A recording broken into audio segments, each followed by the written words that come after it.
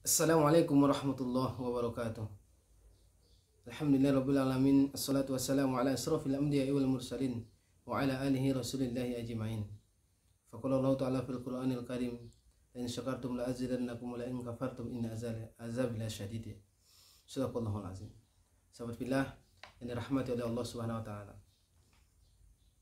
Kita telah membahas masalah macam-macam talak ya. Macam-macam talak ada talak raj'i ada talak bain namanya bain sukro ada bain kupro ya. Kalau udah bain kupro itu udah udah udah udah nggak bisa lagi kembali ya seperti talak tiga. Kalau talak raj'i itu masih bisa rujuk itu satu dan dua. Kalau sudah talak tiga nggak bisa lagi kembali kecuali mm, mantan istrinya itu nikah dengan laki-laki lain dan di dalam pernikahan mereka itu mereka berhubungan layaknya suami istri dan diceraikan oleh suami yang kedua kalau memang istri mau dan mereka cerai dan kalau ada masih ada harapan mereka kembali rujuk itu baru boleh ya. Dengan syarat harus nikah dulu harus nikah dulu setelah ditalak ditalak tiga.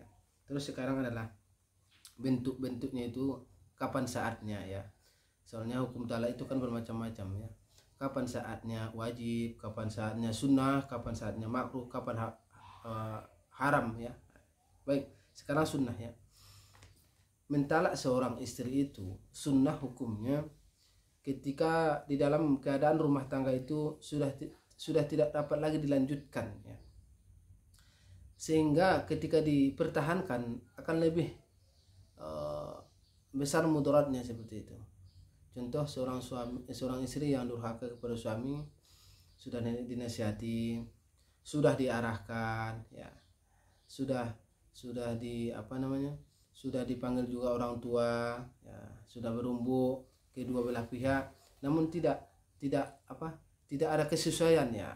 Dan dan dan, dan si istri tidak mau berubah maka itu seorang suami boleh ya atau sunnah untuk menceraikan istrinya daripada kemudaratannya akan lebih fatal daripada tidak diceraikan.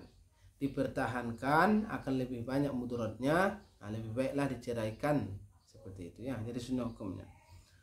Dan ada hukum talak itu mubah atau boleh ketika memang perlu memang perlu perceraian itu dilakukan dan tidak ada pihak-pihak tertentu yang dirugikan dan manfaatnya pun ada seperti itu ya. Beda-beda tipis dengan dengan dengan sunnah. Terus wajib ya seorang suami wajib mentalak istrinya ketika perceraian yang mesti dilakukan oleh hakimnya. Terhadap seseorang atau seorang suami yang bersumpah tidak akan menggauli istrinya lagi. Ya dia bersumpah atas nama Allah tidak mau dan tidak akan pernah lagi menggauli istrinya maka wajib tuh wajib cerai wajib talak atau mungkin dia tidak mau membayar kafarat sumpahnya ya. Contohnya nih saya bersumpah tapi atas nama Allah gitu loh. Saya bersumpah tidak akan menggauli istri saya lagi. Nah itu umpamanya ya. Si A bersumpah tidak akan menggauli istrinya yang bernama si B. Atas nama Allah dia bersumpah dan dia tidak mau membayar kafaratnya. ya. Maka seorang hakim atau pengadilan agama istilah orang sekarang atau kuah boleh dan wajib menceraikan atau memberikan talak kepada istri ya. Karena ini memudaratkan kepada pihak pihak perempuan. Dan dia tidak setelah dia melanggar sumpahnya itu dia tidak mau membayar kafaratnya gitu loh. Kafarat sumpahnya itu ya yang pada video sebelumnya kita sudah bahas masalah kafarat sumpah.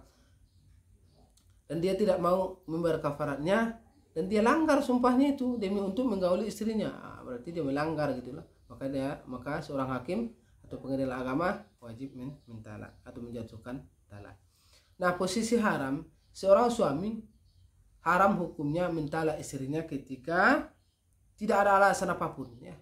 Tidak ada alasan apa pun dan dia mentalak istrinya gitu loh istrinya soleha baik dan macam-macam sebagainya. Dan dia mentalak istrinya secara tiba-tiba gitu. Dan istrinya ini dalam keadaan haid. Dan haram hukumnya kan mentalak seorang istri dalam keadaan haid nggak boleh ya.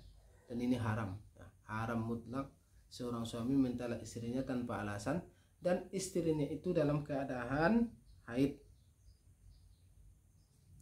Dan boleh dan haram juga mentalak istri di dalam keadaan suci atau haid. Dan masa itu ia telah menggauli istrinya seperti itu ya. Jadi ada tempat-tempat tertentu ada masa-masa tertentu kapan wajib sunnah mubahnya seorang suami mentalak istrinya. Melihat keadaan situasi dan kondisi.